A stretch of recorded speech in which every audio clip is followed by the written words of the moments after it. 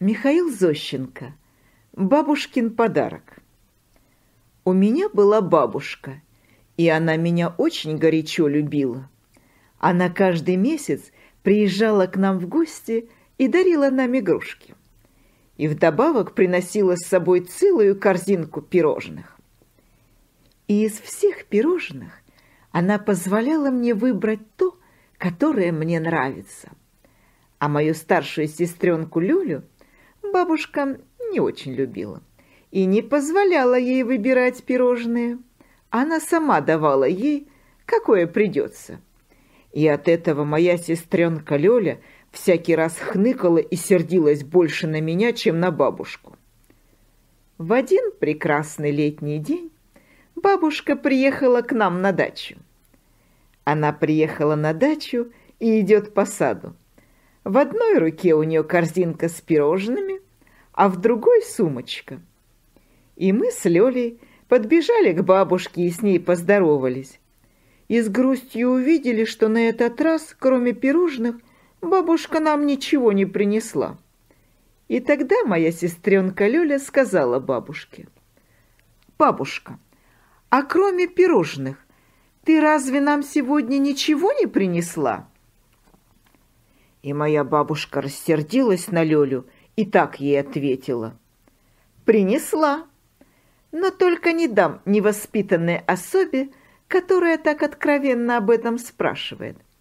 Подарок получит благовоспитанный мальчик, Миня, который лучше всех на свете благодаря своему тактичному молчанию.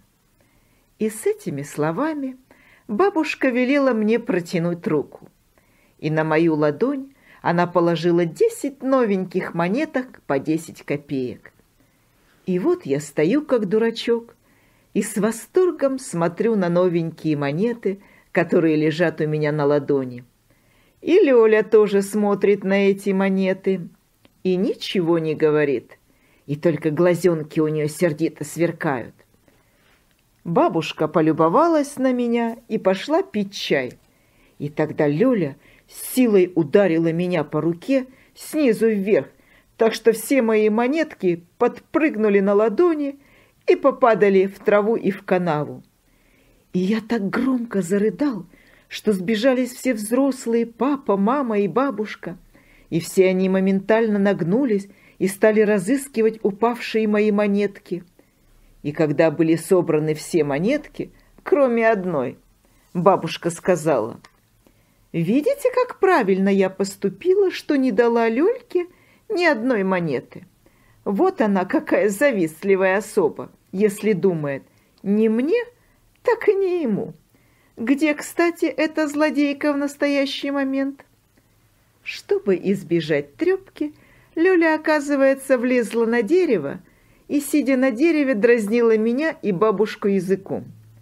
Соседский мальчик Павлик хотел стрельнуть в Лёльку из рогатки, но бабушка не позволила ему это сделать, потому что Лёля могла упасть и сломать себе ногу. Бабушка не пошла на эту крайность и даже хотела отобрать у мальчика его рогатку.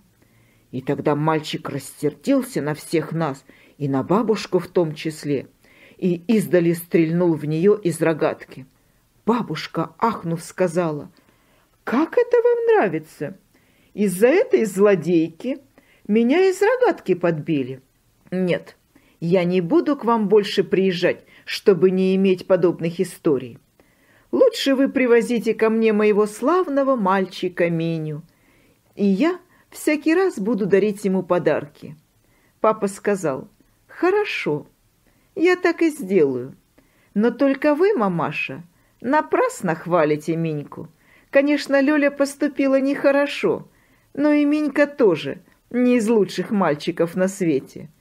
Лучший мальчик на свете тот, который отдал бы своей сестренке несколько монеток, видя, что у нее ничего нету.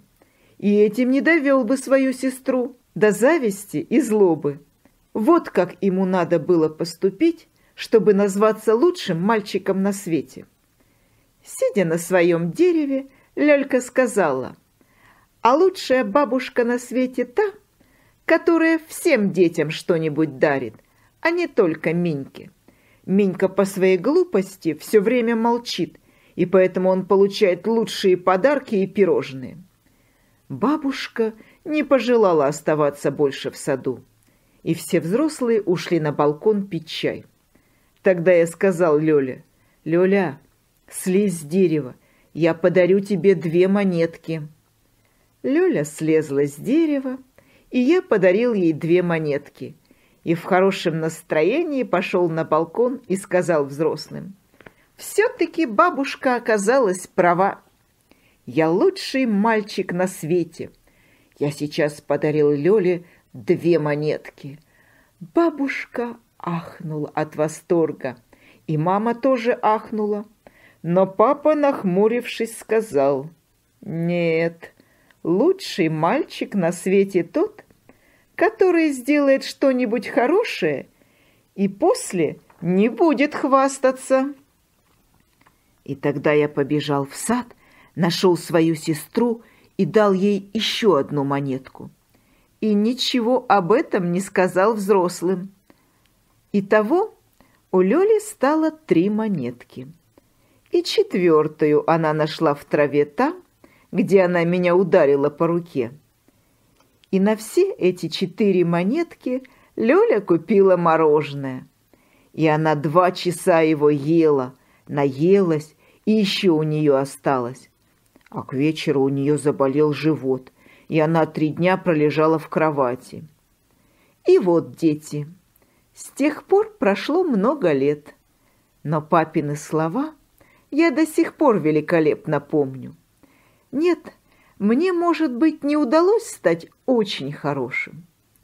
Это очень трудно, но к этому, дети, я всегда стремился. И то хорошо.